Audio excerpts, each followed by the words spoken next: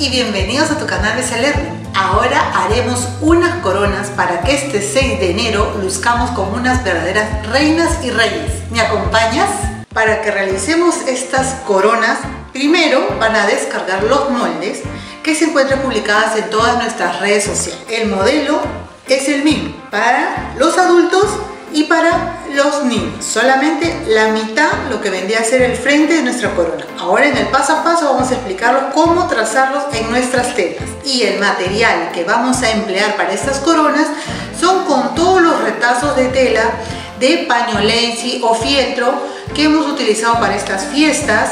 También pueden emplear el, el pañolensi estampado, el polar estampado navideño. En caso no tengan este material textil, lo que pueden hacer es emplear goba eva, microporoso o corospun como lo conocen en otros países, ya sea navideño, metalizado, escarchado, con la textura que quieran. Cintas navideñas, más o menos de un ancho de unos 3-4 centímetros, los modelos, color que les haya quedado de estas fiestas navideñas. Y para darle también un poco de brillo a nuestras coronas, lentejuelas, mostacillas, mostacillones, canutillos, a tono del material de nuestra base o superficie que vayamos a emplear. También pueden ser botones, si ustedes saben bordar, pueden bordar.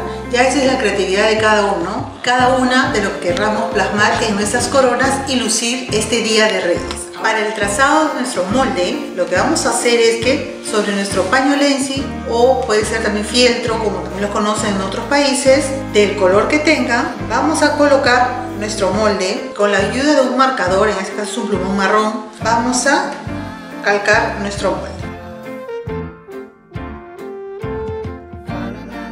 Y una vez que lleguemos al término de esta mitad, lo que hacemos es girarlo, así. Y donde hemos concluido, seguimos con el trazado.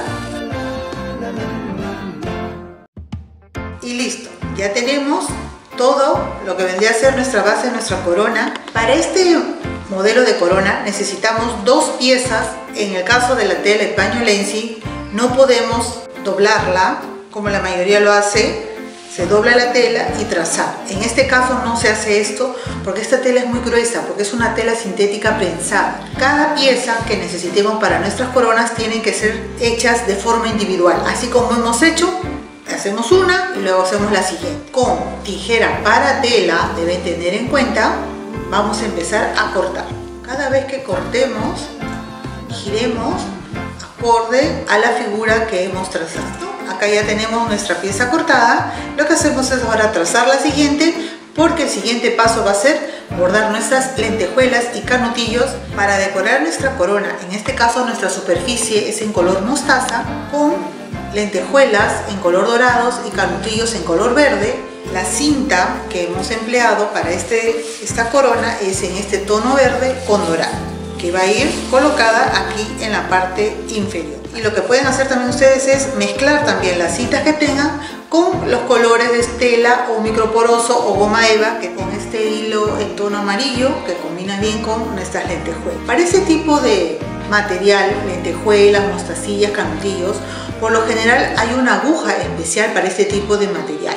Pero en el caso no la tengan, lo que deben hacer es que la aguja más finita que tengan de costura la deben emplear para este proyecto.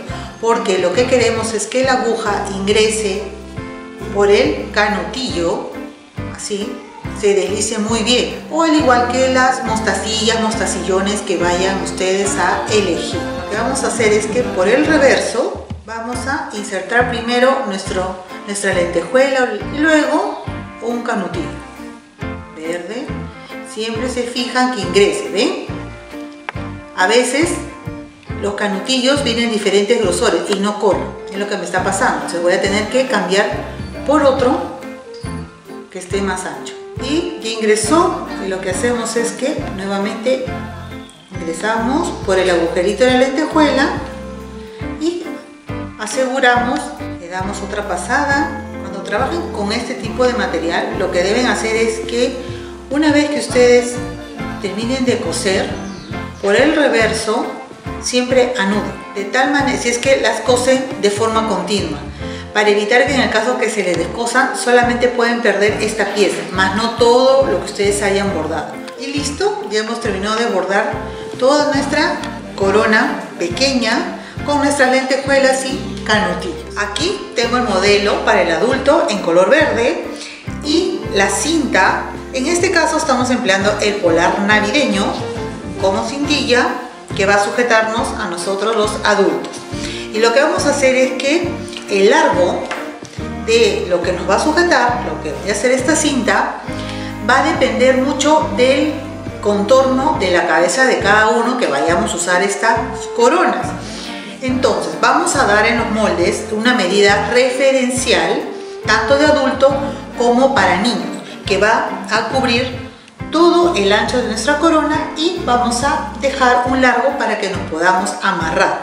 Pero ustedes lo pueden ampliar de unos 10 a unos 20 centímetros más dependiendo si quieren que se luzca más la cinta o que también las personas tengan un poco la cabecita un poco más grande, al igual que los niños, porque estas son unas medidas estándar que lo que va a variar el largo va a ser de las cintas. Para unir ambas piezas nos vamos a apoyar con la silicona líquida. También lo pueden reemplazar por pegamento textil o también si son amantes de la costura, lo que pueden hacer que con punto festón pueden coser todo el contorno. Son estas opciones emplean para el pegado de, de ambas piezas. En este modelo de adulto, en tono verde, aquí no hemos puesto ninguna lentejuela, solamente canutillos y mostacillas en tono rojo y verde que combina muy bien con este polar estampado. Vamos a empezar a aplicar de afuera hacia adentro más o menos a, uno, a medio centímetro. No lo hagan tan pegado porque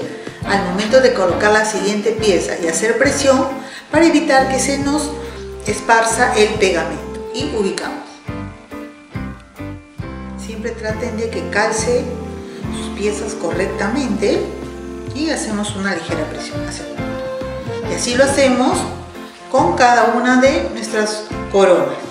No se preocupen si no les calza correctamente porque después una vez que esté seca la pieza la pueden emparejar, la van perfilando. Ya tenemos nuestras dos piezas pegadas, ahora lo que tenemos que hacer es dejar secar porque todavía está húmedo, se siente frío y finalmente acá tenemos otra opción de color, como ven, estamos variando, azul, verde, mostaza. Para lo que son adultos y niños pueden combinar porque son retazos de telas que nos ha quedado. Inclusive acá tenemos este polar estampado que combinaba muy bien con este pañolencia azul. Para el pegado de nuestra cinta lo que vamos a hacer es que partiendo de la punta principal y del centro, vamos a colocar nuestra cinta de polar, de pañolensi, cinta alambrada, puede ser las cintas metalizadas, la que tenga. Teniendo en cuenta este ancho, vamos a pegarlo nosotros al centro. Así lo ubican, la parte central,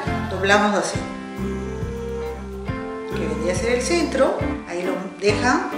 Nuevamente con la silicona líquida, pegamento textil, aplicamos para fijar el centro.